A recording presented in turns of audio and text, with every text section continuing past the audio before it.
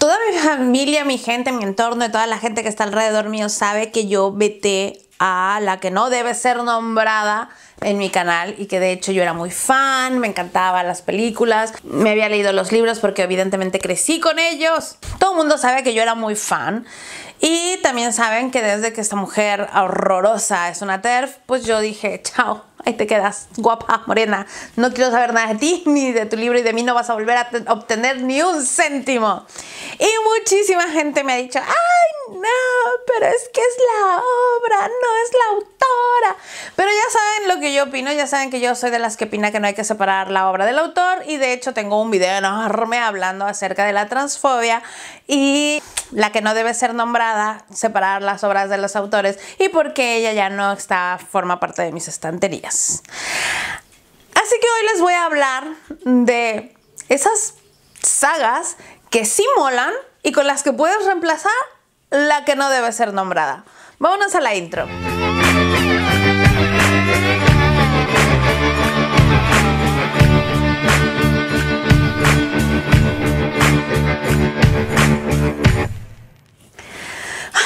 Total que yo vete a la que no debe ser a la que no debe ser nombrada de mi vida, mucha gente, pero muchísima gente, no solamente seguidores, sino amigos míos de toda la life y gente que sabía que a mí me gustaba muchísimo. Muchísima gente me ha dicho, pero es que claro, no hay otra obra en este universo tan buena como esa obra. Y ahora ¿qué vamos a leer? ¿Quién podrá defendernos? Y yo es como en plan de, güey, espérate, deja que el Chapulín Colorado te ayude en esto. Y a falta del Chapulín Colorado, aquí está Mami Forbid para recomendarte algunas sagas maravillosas, fantásticas, súper completas, todas ellas juveniles, porque les recuerdo que el libro que no debe ser nombrado es una saga juvenil, muy, muy juvenil, porque empezamos con un niño muy pequeño y terminamos con un niño adulto, entonces es una saga de continuidad. ¿Vale? Y todas estas sagas que les voy a recomendar son sagas así, juveniles de continuidad, que nos enseñan cositas y que son muy chulas. Vamos a ver. Voy a empezar con las que evidentemente ya están terminadas porque de eso se trata. Y una de ellas es la saga Mistborn, que bueno, es una trilogía. A ver, Mistborn es complicada y creo que salvo por Bean, es todo lo demás es maravilloso. Lo único que la riega es Bean porque bueno, a mí me cae muy mal, pero son detalles, detalles míos. El punto es que Mistborn son tres trilogías. Hay dos publicadas ya. Está la primera trilogía que es uh, Mistborn empieza con el Imperio Final. De hecho, tenemos videos en el canal de los tres libros, si mal no recuerdo. Y luego está la segunda parte que también ya está terminada y creo que el señor Sanderson va a escribir dos partes más dos trilogías más dentro del universo Mistborn. Son independientes, es decir, puedes leerte tres empezar y cerrar y no leerte las demás si no quieres o leértelas todas en conjunto, pero son independientes. Abre y cierra una saga, luego 100 o 200 o 300 años después empieza una historia nueva, una vida nueva y personajes completamente nuevos, etcétera, etcétera. Entonces te las puedes leer de manera independiente. Yo voy a recomendar las primeras tres porque, bueno, ya es son fantásticas, son fabulosas, son fantásticas. El señor Sanderson lo hace muy, muy, muy bien y creo que es una de esas sagas que perfectamente, perfectamente vale la pena. Tenemos unos personajes que van creciendo, que van creciendo a lo largo de la trama y que van cambiando no solamente de personalidad, sino también de edad. Y vas creciendo con ellos y vas viendo y encontrándote con cosas. También es un reinvento de la fantasía fantástico. El world building que hace Brandon Sanderson no lo tiene ningún otro autor, ningún otro autor. Digan lo que digan, se los digo de verdad. Este hombre es que tiene un cosmere impresionante, un world building impresionante, sus personajes están muy bien trazados, sus historias son muy redondas, al final cierran todos los círculos, no sé, a mí creo que en conjunto, si me pongo a ver la saga en conjunto, la saga es espectacular. Que luego a manera individual yo piense que el libro segundo, que es el libro Valle, es el libro que personalmente menos me gustó y que hay cosas que fueron lo que salvaron ese libro, a muchísima gente sí que le ha gustado el segundo libro, ¿no? Entonces creo que esto es una cuestión ya un poco de gustos. Pero en términos generales, en generalizaciones, yo creo que la saga de Mistborn es una de las sagas más completas y una de las mejores sagas em, que hay de fantasía actualmente. Lo digo de verdad. Obviamente también voy a meter aquí la tetralogía del cementerio de los libros olvidados. Esta tetralogía no es juvenil, se supone que no lo es. De hecho, es el salto que hace Carlos Ruiz Zafón de la literatura juvenil a la literatura adulta, ¿vale? Y sin embargo, yo siento que es un libro muy juvenil, es una saga muy, muy juvenil que cualquiera, a jóvenes y adultos, la pueden disfrutar. Insisto, esto sí que sería como mayores de edad, no porque haya nada de R18 ni muchísimo menos, sino porque está catalogada como literatura para adultos, pero no creo simplemente, de verdad lo digo de corazón, creo que da igual la edad que tengas, puedes leerlo perfectamente y disfrutarlo y gozarlo porque Safón lo hace muy bien en esta tetralogía.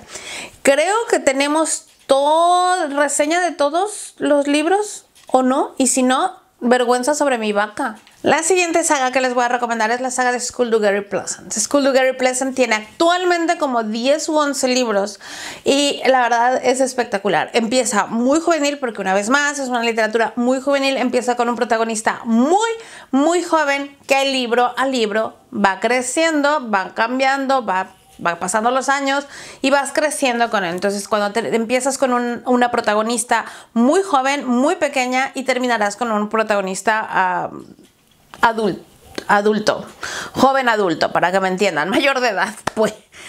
Y la historia es espectacular, el mundo que crea es Derek Landy es muy increíble. Skull Gary es muy flipante, él me cae muy bien, es un personaje que cae muy bien, es un cínico y me gusta su humor, me gusta su manera de decir las cosas, de contar las cosas.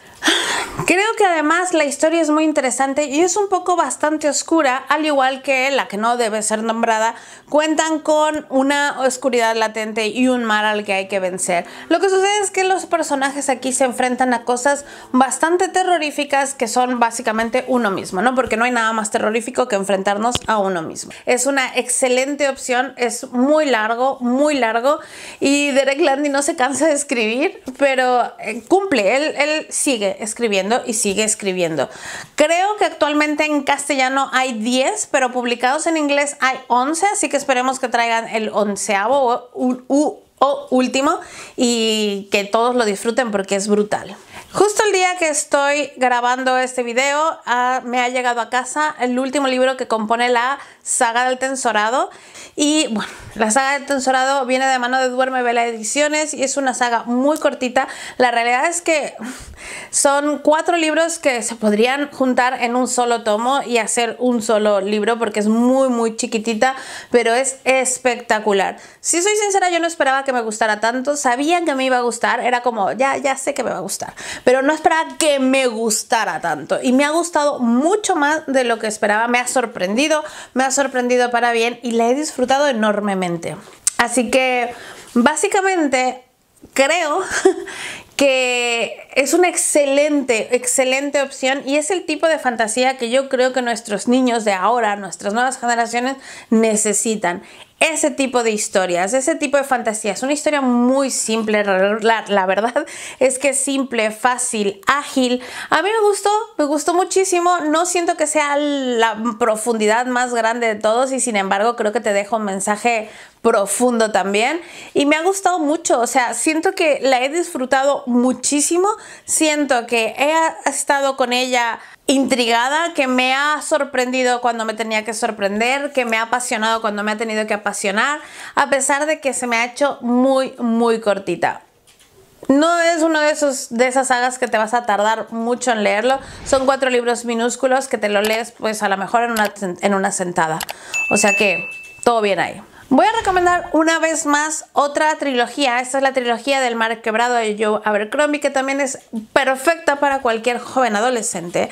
Estos son tres libros de aventuras, libros de aventuras buenas, buenas aventuras, libros de aventuras bastante geniales, además hay que decirlo todo. De aventuras bastante, bastante geniales, de un personaje que es increíble y una de las cosas más fantásticas que tiene ese personaje es su mente, su cerebro. Es prodigioso y es fantástico y muy divertido. La verdad es que a mí me gustó muchísimo.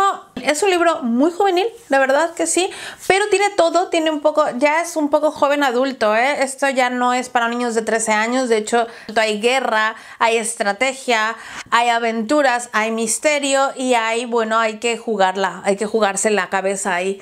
Y es muy interesante, es yo creo que es como la versión super juvenil, light, descafeinada y así como pasada por 300 millones de filtros de Juego de Tronos en versión resumida e infantilizada.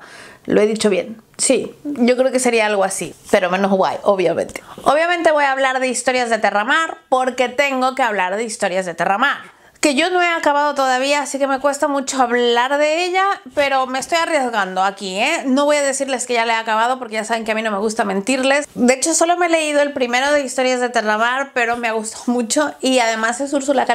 así que le tengo fe. Así que para mí este específicamente es un salto al vacío. De todos modos, empezaré a subir los videos de Historias de Terramar, como hemos acabado algunas sagas. Podemos empezar empezar, que ya la empecé, obviamente, porque ya me leí el primero, pero podemos empezar en el canal esta saga de Terramar y empezar a subir los videos como hemos estado haciendo con todas las demás sagas que por fin hemos terminado, aunque nos haya costado muchos años terminarlas. Así que sí que me emociona, vamos a hacerlo juntos y vamos a ver si después yo no me arrepiento en el video de, este, de mis palabras, no cojo un tenedor y me como mis palabras en un video próximo. Ah, espero que no, francamente. De hecho, estoy casi segura que no. Pero bueno, siempre puedo hacer uno de esos videos de... ¿Me siguen gustando? Y, tal. Pero bueno, por lo pronto eso. Y de hecho, la última recomendación que les voy a hacer, esa no está terminada y se las voy a recomendar con la boca chiquita. Es una de mis libros favoritos de fantasía. por lo pronto yo digo que es una biología, aunque se supone que es una trilogía, pero todos sabemos que Patrick Dios Ratfus nunca jamás va a acabar esa saga. Así que me cuesta mucho recomendarla porque no me gusta recomendar las cosas que no están eh, acabadas o que están incompletas y que además no tienen pinta de acabarse jamás, porque bueno, si estuvieran incompletas, pero dices, es que es un Sanderson, es un Stephen King, gente que produce y produce y produce y cumple y va sacando libros y sacando libros y escriben, bueno, tienen una facilidad de escribir impresionante, pues entonces no tendría ningún problema, pero la crónica de asesino de Reyes, que es la que le quiero recomendar, me cuesta mucho recomendarla porque actualmente solamente hay dos libros, un spin-off, dos libros que son El nombre del viento y El temor de un hombre sabio. A mí me han encantado los dos, los dos tienen reseña en el canal y me han encantado. Lamentablemente nunca sabemos qué va a pasar con las puertas de piedra. De hecho, yo tengo mucho miedo de que cuando salgan las puertas de piedra a mí ya no me interesa el libro o que ya lo lea y ya me dé cuenta que es muy juvenil y que ya no me guste o me da, me, da miedo porque no me estoy haciendo más joven, señor Rothfuss, gracias. Pero el señor no le importa, no le importa, cree que todos tenemos, que sí, complejo de Peter Pan, pero lamentablemente por mucho que tengamos complejo de Peter Pan, los años, los años siguen pasando. Terrible, oigan. Y ya está. Estas son todas las sagas que yo les recomiendo para cambiarlas por la que no debe ser nombrada. Se lo digo de todo corazón, son sagas muy interesantes, hay cosas muy interesantes allá afuera, cosas que se están haciendo, que se han hecho anteriormente, pero que se están haciendo también actualmente, que le dan 30 mil patadas o que al menos no tienen un autor terf y asqueroso como la tiene esa triste saga que fue una de mis favoritas y a la que yo recuerdo con mucho cariño, pero lamentablemente, como he dicho antes, hay cosas que no tolero y yo en mi casa no quiero TERFs y como mi estantería es mi casa, en esta casa está vetada. Así que aquí te doy algunas opciones. Para todos aquellos que me preguntan ¿y qué voy a leer ahora que estoy tan enfadada con la que no debe ser nombrada? Pues aquí tienes unas opciones geniales que seguro más de una te va bien y todos los Forbits además van a dejar sus recomendaciones de sagas fantásticas juveniles que les ha gustado mucho y que además nos ayudan a su el vacío que ha dejado en nuestros corazones la que no debe ser nombrada. Y ya está. tenía muchas ganas de hacer este video, la verdad. Muchas gracias por haberme acompañado una semana más. Gracias por haberse quedado aquí hasta el final. Espero que ya le haya dado clic a me gusta y sobre todo asegúrense de que siguen suscritos en el canal porque YouTube últimamente está como desuscribiendo gente y denle clic a la campanita a ver si así de casualidad les, les dice qué días subo videos. Pero por si no, yo te lo recuerdo.